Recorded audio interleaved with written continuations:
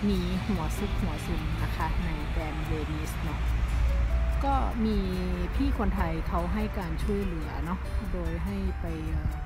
อยู่บ้านเขาก็ช่วยค่าเช่าบ้านเล็กๆน้อยๆอะไรอย่างเงี้ยค่ะ หมอก็ไปหาบ้าง แต่ก็ก็เหมือนไม่ค่อยมีเวลา ไม่ค่อยมีเวลา เพราะว่าช่วงนั้นเขาก็จะมีลีกต่างจังหวัดอะไรไปบ่อยเดินทางบ่อย ก็อาทิตย์ไม่ได้มาหาแทบทุกวันเหมือนเมื่อก่อนเนาะมันก็มันก็เครียดนะ คนเราคือแบบเหมือนกับว่าเราก็ แล้วทุกๆครั้งก็จะมีคำพูดกรอกเข้าหู แล้วก็ด้วยสามัญสำนึกของตัวเองก็จะกลัวไงกลัวโอ้ยเขาระดับนั้นเขาจะมาเออจริงจังกับเราเหรอเขาแค่ล้อเราเล่นแหละ เงินแค่ 900 ยูโร ค่เศษเงินของเขาแหละที่เขาให้เราอะไรประมาณเนี้ย เราก็เกิดความน้อยเนื้อต่ำใจเนาะฉันเอาอนาคตฉันไม่ดีกว่าเหรอ ฉันเดินทางมาขนาดนี้แล้ว มีผู้ชายคนหนึ่งที่เขาพร้อมจะแต่งงานกับฉัน เออ แล้วทำไมฉันคือทำไมไม่ยึดถือถึงตรงนั้น เออ มาเจอคนใหม่ที่ดีกว่าเขาแล้วจะทิ้งเขาเหรออะไรเป็นวันเนี้ย เหมือนกับกับสามัญสำนึกอื มันผุดขึ้นมานะว่า เออเราควรจะทำยังไงต่อไปดีหนาก็เลย คิดตรึกตรองอยู่นานแหละยังไงก็กลับไปแต่งงานก่อนได้วีซ่ากลับมาก่อนแล้วค่อยว่ากันนะ เรื่องเงินของหมอเราค่อยหาคืนเขาก็ได้ หรือว่าอะไรยังไงก็ค่อยว่ากันอะไรอย่างนี้ไงก็เลยโทรไปหาตาขี้เหนียวเนาะที่มิลานว่าเออเนี่ย เธอฉันจะไปหาเธอนะ ฉันจะไปหาเธอ เออเธอ วันนี้วันนี้นัดกัน นัดกันว่าจะไปหาแกวันเสาร์พอวันพฤหัสแกโทรมาบอกว่าอัญเจล่าไม่ต้องมาหาฉันนะ ตอนเนี้ยฉันอยู่ภาคใต้บ้านน้องชายอืมเดี๋ยวฉันกลับไปเมื่อไหร่แล้วฉันจะบอกอือะไรประมาณเนี้ยเราก็แปลกใจนะ เอ๊ะทำไม แกไม่เคยเป็นอย่างนี้ไง คือ คือถ้าไปไหนก็จะบอกล่วงหน้าก่อน อันนี้ไม่ใช่ถึงถึงบ้านน้องชายแล้วค่อยมาบอกเราอะไรอย่างนี้ไง คือมันมันแปลกวิสัยแกไงนาก็สงสัยนะ สงสัยว่ามันคืออะไรทีนี้ก็โทรไปหาแกทุกวันนะว่าเออแกเป็นยังไงบ้างเอออยู่ภาคใต้เป็นยังไงบ้างมีเสียงเด็ก มีเสียงเด็กร้องไห้เอ้าทำไมมีเสียงเด็กด้วยอ๋อหลานฉันแบบหลานฉันเอออยู่ที่นี่ อะไรอย่างเงี้ยคือ เราก็จับเหมือนโกหกไงเอ๊ะมันต้องโกหกแน่ๆเลยนาก็สืบเรื่องราวต่างๆกลายเป็น แกโกหกค่ะ ผู้หญิงคนที่เป็นแฟนเก่าแกที่มีลูกเล็กไปหาแกไปอยู่กับแก โดยที่ก็เหมือนเขาเลือกผู้หญิงคนนั้นอะเขาไม่ได้เลือกนาเขาไม่ได้เลือกนาเขาเลือกผู้หญิงคนนั้น ยังดีวะ อย่างน้อยๆ ฉันก็ยังไม่ได้ทิ้งหมอ ยังไม่ได้บอกเลิกหมอ ยังไม่ได้พูดอะไรเลย คือเรา เราก็รอจังหวะอยู่อะไรอย่างนี้ไง เออ แต่อ้าวโอเค แล้วก็ ไม่ได้เจอกันเนาะณตรงนั้น ทีนี้หลังจากนั้นประมาณสักอาทิตย์หนึ่งหรือสองอาทิตย์นี่แหละเออ ตาขี้เหนียวโทรมาอีก อัญชล่าเธอกลับมาหาฉันเถอะ คือเราจับได้แล้วไงเราก็บอกไปแล้วว่า เออฉันไม่โอเคนะ ถ้าเธอจะทำอย่างนี้อะไรอย่างเงี้ย เออ ถ้าเธอเลือกที่จะอยู่กับผู้หญิงคนนั้นแล้ว ฉันก็ไม่อยู่นะ ฉันไม่โอเคนะ อืมอาจจะรักกลับมาหาฉันเธอะฉันไม่รักผู้หญิงคนนั้น เออ ผู้หญิงคนนั้นเขามีลูก ลูกเล็ก เออ ลูกเขาเออเออ งองแง เออ ฉันไม่ชอบเด็ก โอ้โห ลูกฉันสามนะจ๊ะ ลูกฉันนี่คือสุดแสบทั้งสามคนเลยนะ เออ แล้วจะยังไง เออ เราก็เลยตัดทิ้งไปเลย คือตัดทิ้งไปเลย แต่แกก็ยังไม่ไม่ทิ้งนะ ยังพูดเรื่องยังขู่ เอายกเอาตำรวจจะมาขู่จะมานู่นนี่นั่นนายอยู่ดีนะ อืม แล้วทีนี้ก็เลยมีวันนั้นเป็นวันเกิดของคนรู้จักเนาะ คนรู้จักคนนั้นแหละ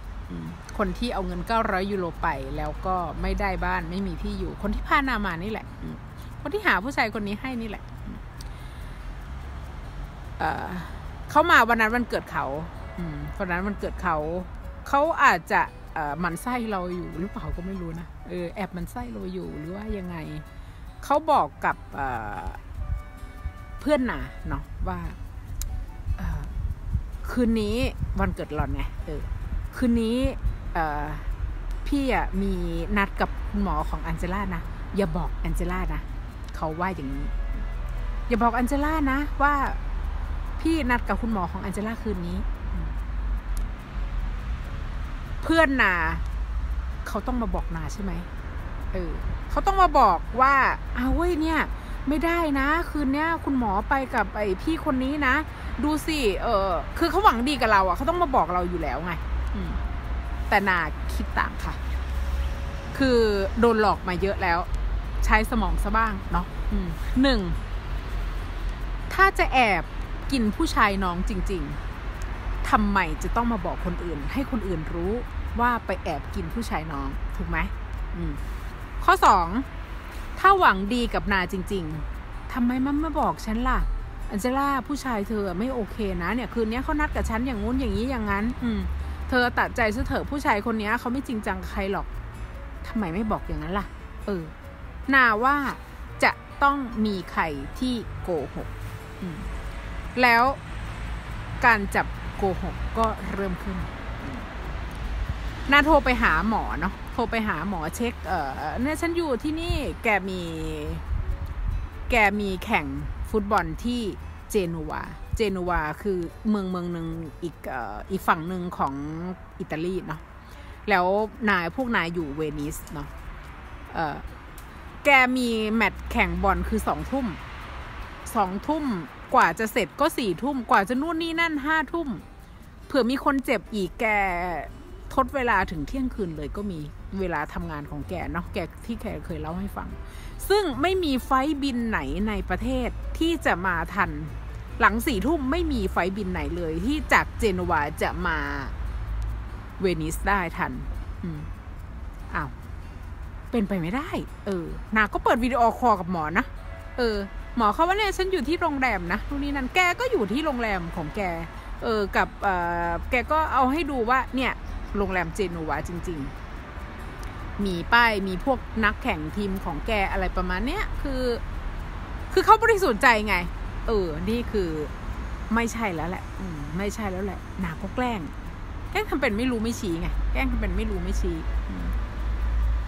ลองดูซิว่าเขาจะทำยังไงอะไรประมาณเนี้ย เพราะว่าเหตุผลหนึ่งที่ตาขี้เหนียวแก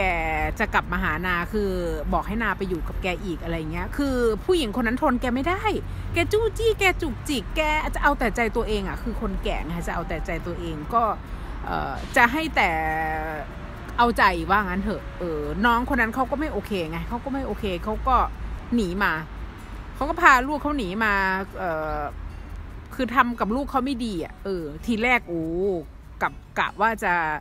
กลับเมืองไทยกันหนูนะกะว่าจะไปแต่งงานแต่งการกันหนูนะกับผู้หญิงคนนั้นนะคือเขาบอกว่าเขาเลือกผู้หญิงคนนั้นแล้วไงเออคือเขาไม่ไม่เลือกนาเออประมาณนี้เนาะ แล้วทีนี้กลับจะมากลับลำว่าให้เราไปอยู่ด้วย เออนาก็ไม่เอาสิ อืม แล้วก็จับโกหกได้แล้ว หมอไม่ได้โกหกค่ะ คนรู้จักนั่นแหละ สร้างเรื่องขึ้นมา อยากให้นากลับไปหาตาขี้เหนียวอีก ซึ่งนาไม่โอเคเนาะ ใครเป็นใครใครจะโอเคล่ะ เออ ใครจะกลับไปอีกล่ะ ในเมื่อออกมาแล้วขนาดเนี้ย เธอบอกเลิกฉันเองแท้ๆ เธอบอกว่า เธอจะอยู่กับผู้หญิงอีกคนหนึ่งอะ เออ แล้วฉันจะไปทำไม ใช่ไหมหนาก็ไม่โอเค หนาก็ถอยออกมาค่ะสรุปได้แล้วคือ ใครเป็นคนตอนแรก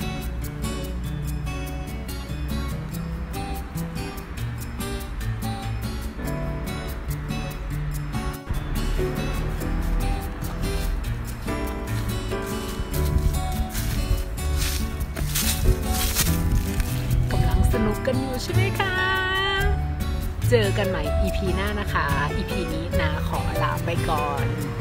รับรองต่อไปนี้มีแต่ความสนุกค่ะ โอเคค่ะ งั้นคลิปนี้นะขอลาไปก่อนนะคะ